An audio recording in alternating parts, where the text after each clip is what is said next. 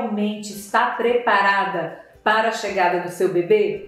Esse é um ponto que a gente precisa ter sempre em mente. O que, que vai acontecer comigo depois que o bebê nascer? Como cuidar desse bebê. Então, minha primeira dica para você que está grávida, para você que está no iníciozinho da gestação ou até que já está numa fase mais avançada da gestação, a minha dica é: converse com os profissionais que te acompanham e se você é obstetra, se você é nutricionista materno-infantil, entenda que a gente tem que preparar essa mulher desde o início da gestação para o pós-parto. É muito frequente a gente ouvir no consultório assim: Andréia, eu me preparei muito para o parto, eu tive o parto do jeito que eu sonhei, mas ninguém me preparou para o que ia acontecer depois. E de repente, estava eu e meu marido ali na maternidade com aquele bebezinho lindo no colo morrendo de medo, de angústia, de ansiedade, porque a gente simplesmente não sabia o que fazer. Eu não sabia o que comer, eu não sabia se eu deveria continuar tomando os meus suplementos, eu não sabia identificar da onde vinha aquele choro do bebê, se ele estava com fome ou não. Eu não sabia sobre o cocô do bebê, sobre a urina do bebê. Eu não estava preparada. Me preparei para o parto, mas me esqueci de preparar para o pós-parto. Então, a primeira dica que eu quero dizer para você: prepare-se faça bons cursos sobre maternidade, sobre cuidados do bebê, como dar o banho, como cuidar do umbigo, o que é o mecônio, o primeiro cocô do bebezinho. Converse muito com os profissionais que te acompanham. Entenda que a amamentação não se aprende só depois que o bebê nasce. Esse preparo tem que acontecer desde o início da gestação. Amamentar é incrível, mas muitas vezes por dificuldades ali no pós-parto, às vezes ainda na maternidade, essa mãe já sai da maternidade com uma fissura, já está doendo muito, ela não teve ninguém para dar o suporte, nenhum profissional para dar o suporte, e aí a gente começa a perder essa luta para amamentação. Então, a primeira dica é: entenda que você tem que se preparar agora. Se você está vendo esse vídeo, essa é a oportunidade de você começar a pensar sobre o que vai fazer depois. Entenda que você precisa sim, se você é mãe de primeira viagem especialmente, fazer cursos é, que falem sobre o que acontece depois sobre os cuidados, principalmente os cuidados com o bebê. Acompanhe com o nutricionista materno-infantil. E aí você vai ter, e agora já dica sobre alimentação. Você vai ter uma alimentação saudável, muito regrada, muito equilibrada, muito variada durante toda a gestação. E lá no pós-parto, você vai continuar se alimentando de maneira saudável. Essa é uma dica muito importante. A gente costuma falar, eu costumo falar com os meus alunos profissionais da saúde, que às vezes existe aquela cultura da farra na maternidade. Então o bebê nasceu, essa mãe já começa a comer um doce, começa a comer um bem-nascido, começa a comer um excesso de, de produtos derivados de leite e de repente você altera ali o perfil intestinal desse bebê, já com repercussões, com gases, e essa mãe começa a ficar muito insegura. Em termos alimentares, o ideal é que você venha com um estilo de vida saudável.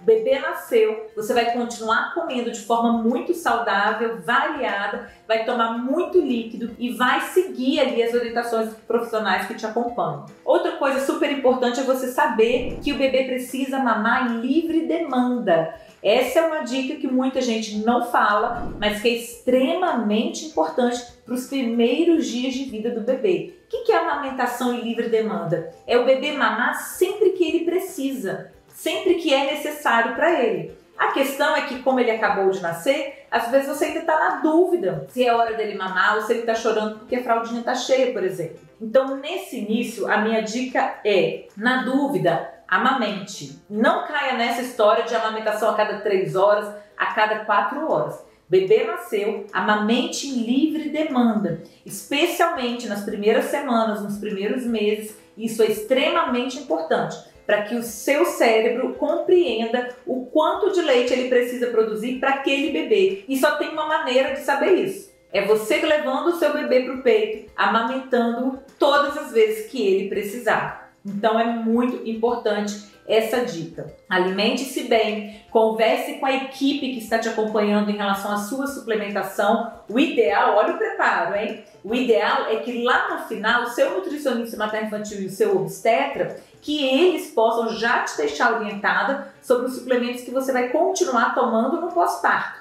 E aí, por volta de seis semanas, repete os seus exames laboratoriais e uma nova suplementação vai ser feita. Alimente-se adequadamente, suplemente com aquilo que te foi prescrito e que é necessário, hidrate-se bastante e amamente em livre demanda. Esses são os primeiros cuidados. Aprenda a se conectar com seu bebê. Entenda que o estresse, o medo, a angústia, é, a preocupação, elas devem ficar para o lado de fora. Quanto mais relaxada você estiver, quanto mais tranquila você estiver, mais chances você tem de conseguir amamentar o seu bebê plenamente, porque o estresse diminui a produção de leite materno. Quando você aumenta a adrenalina, os hormônios mudam e a produção de leite materno diminui. Então, querido, se você está vivendo a maternidade se você está preparando para o depois, as principais dicas que eu quero compartilhar com vocês hoje são essas: alimentação, suplementação, tranquilidade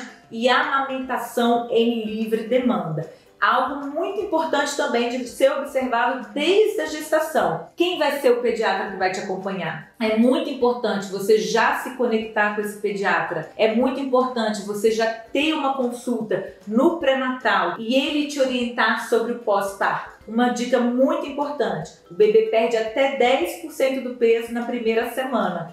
Por isso é muito importante que você vá nos primeiros dias de vida após a alta nesse pediatra que te acompanhou e que vai acompanhar o seu bebê para que essa questão desse, dessa perda de peso se ajuste e não tenha nenhum estresse. E a partir daí ele vai te orientar em quanto quanto tempo você deve voltar. Bom, essas dicas podem fazer a diferença no seu pós-parto, na amamentação, nas primeiras semanas e meses de vida do seu bebê. Então deixa o seu like nesse vídeo, compartilhe com toda gestante, porque é um assunto extremamente importante. Empodere-se, a maternidade é incrível, é encantadora, mas você, munido de informações relevantes como essas, vai com certeza conseguir trilhar esse caminho com muito mais tranquilidade. E uma dica é: entenda que fazer o seu melhor basta. Não existe mãe perfeita, não existe maternidade perfeita. Faça o seu melhor e curta o seu grande amor. Estamos juntas nessa caminhada, vai ser lindo. Compartilhe esse vídeo e vamos lá fazendo a diferença nessa geração.